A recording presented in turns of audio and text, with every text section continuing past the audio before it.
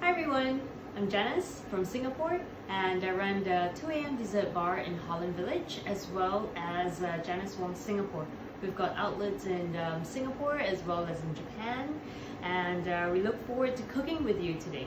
So this is a really straightforward, easy recipe. I like to share that with you because all you need to do is just choose your chocolate wisely. Uh, what we're making today is the chocolate bark. So it's uh, really easy because all you need to do is temper your chocolate and uh, either you can choose your favorite ones from dark, milk, white, or even ruby. So I've got, you know, my pot ready. I've got water in the pot and um, I'm actually boiling the water. You can see it. And here I've got some chocolate as well. Here I've chosen a single origin, 72% from Ecuador.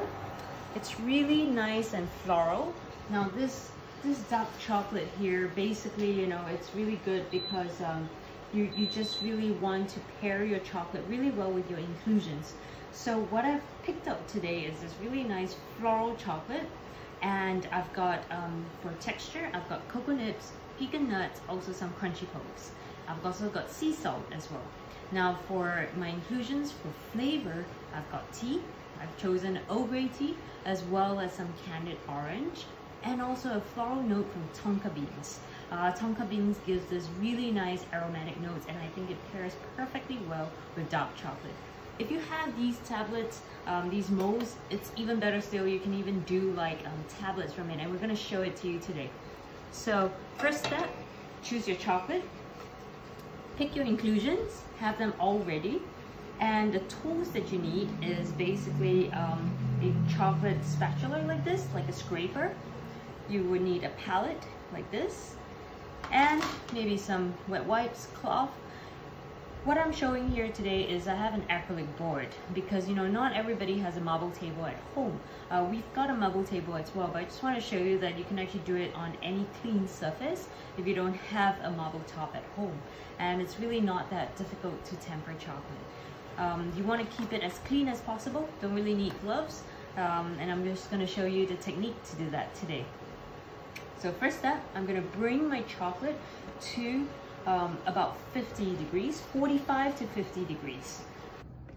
Okay, so this takes about a minute, so just watch it really closely. So we are ready.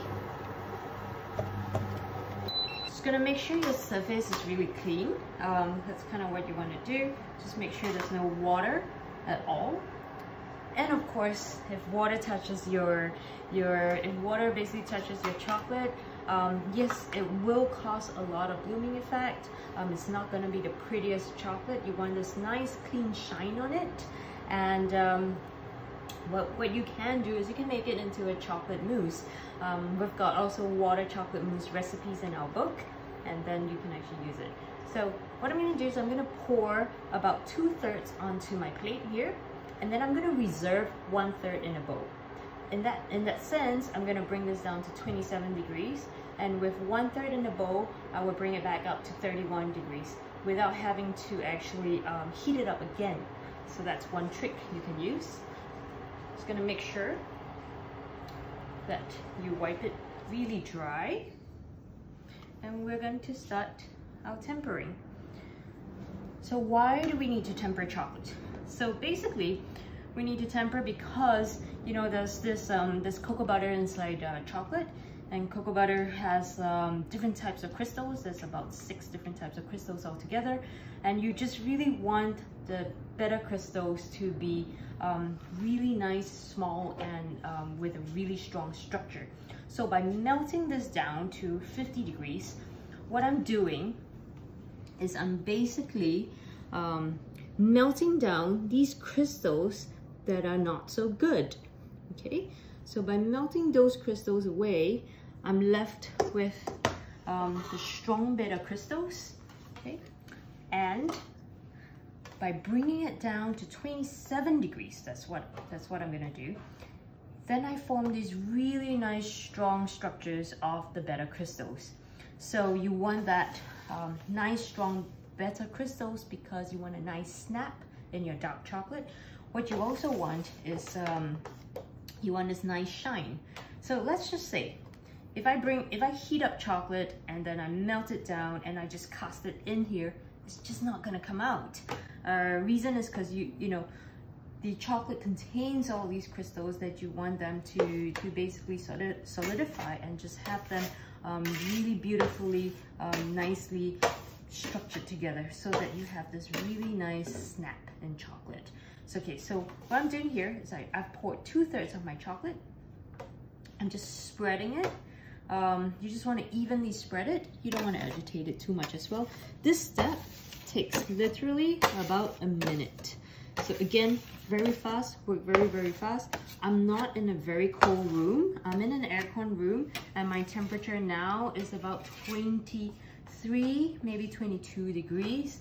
I should be in a colder room, but again, you know, not everybody at home has a very cold temperature.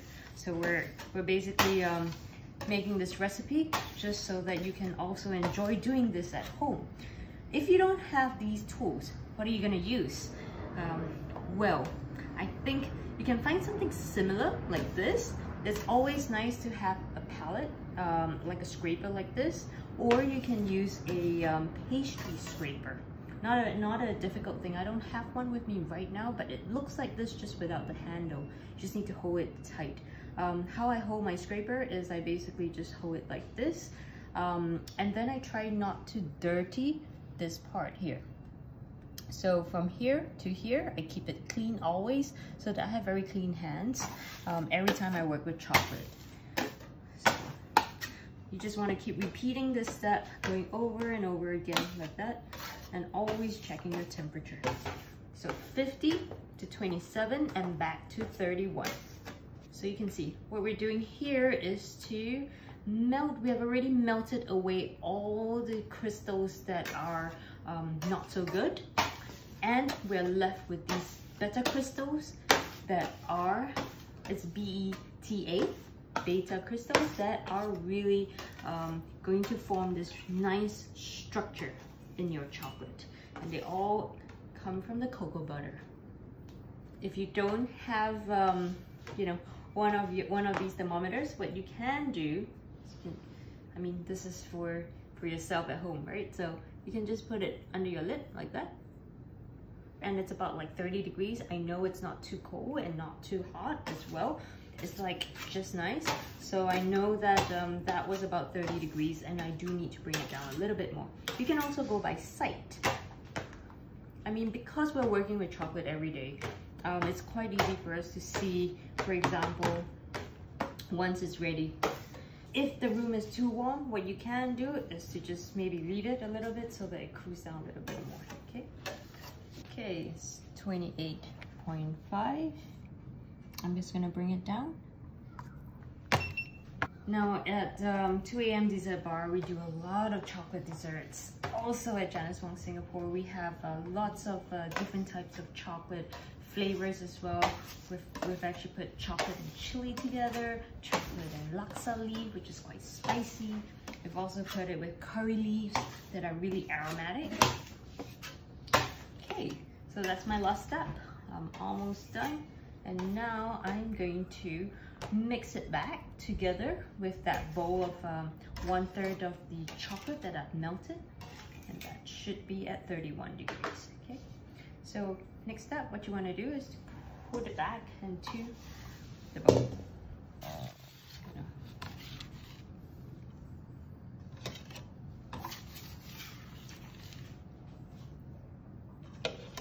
slide it all back in there.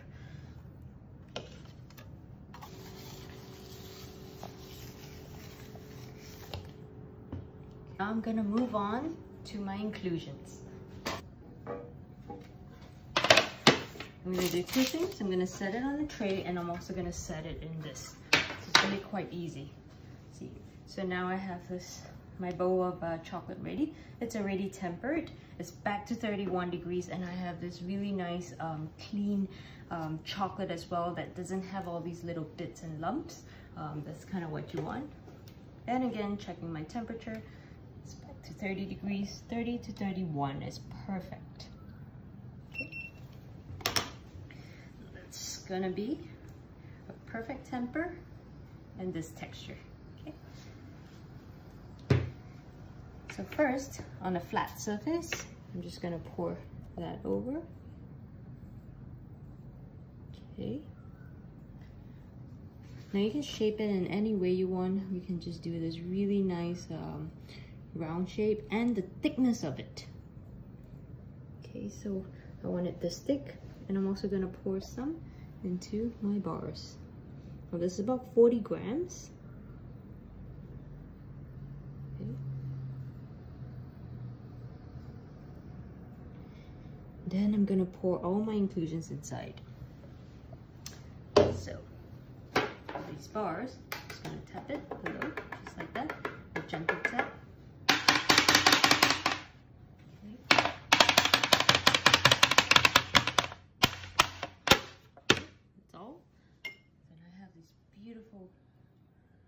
Strawberries that I, we have dried by ourselves. You can just put it in the oven, or you can even sun dry these strawberries. Super beautiful. Now, I like to put a lot of inclusions because it's just perfect to do that. And I'm gonna have my tonka bean over here. I'm just gonna put that over.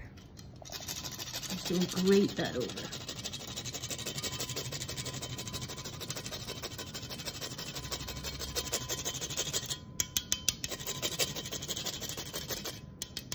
Okay, beautiful.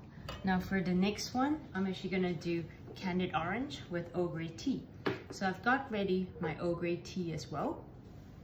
And I'm just gonna put the tea leaves into the chocolate. So at this step, this is what you wanna do. You wanna basically put in as much of the um, inclusions at this step as fast as possible because it hasn't set yet. And you just want that beautiful um, color, texture, flavor. Don't be afraid to even add more of these tea leaves that you have. I've tried it myself and I tell you, I crave for more of these. It's really awesome. Next, I'm gonna put candied orange on it.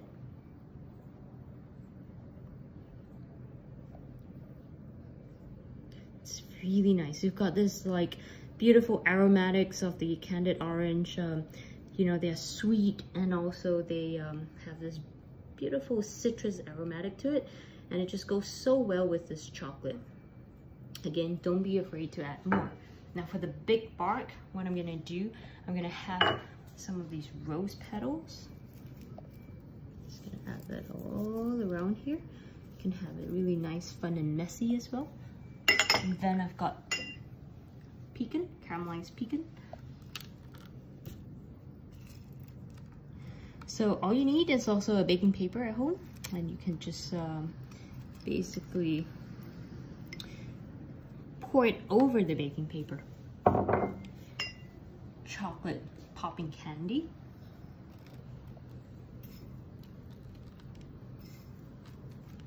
Super beautiful. Now you also want to have a bit of color, but you know, flavor is so important in a chocolate bar. And lastly, sea salt. I use this Maldon sea salt. Just want to crack that over. There I have it, I'm almost done. So we did this in about, you know, 15 to 20 minutes. Um, and you can take about five to 10 minutes to set the bar, put it, um, just leave it here. And then after that, put it into the fridge. It's perfect. There, thank you very much for joining me. This is our chocolate bar. I'm gonna set it in the fridge and uh, we're gonna show it to you when it's ready. Okay, so the chocolate has been set in the fridge for about 15 minutes. Um, as you can see, you know, if you want to take out of the mold, you can actually um, just see it. It's uh, It shouldn't stick to the mold at all. And if it does, sometimes you just need to just um, shake it out a little bit and then it can unmold. Um, so this, this is ready. You can also see that um, basically once you lift it up, that should have this really nice snap and also a nice shine to it. It shouldn't have any bloom marks around as well if you temper it really well. So we're just gonna unmold it and just have these beautiful bars ready to enjoy. There we go. And now I'm just gonna snap this so that you can hear it and see the snap. There we go. So it's a beautiful chocolate bar. That's what we want. And you can enjoy this nice, delicious chocolate bar and bark. It's perfect for a party. And there we go, we have this really beautiful chocolate. I hope you enjoyed the class with me today. Um, again, have fun with all your creations. Choose your chocolate wisely. Also, all the different inclusions. Um, spark your creativity, push your imagination, and have fun. Thank you very much for joining me with the class today. See you soon. Thank you very much for joining us today. I hope you enjoyed the recipe, the chocolate bark, with all these uh, flavors and also textures. Well, thank you very much for joining us today at the Cambridge Live Experience. See you guys soon.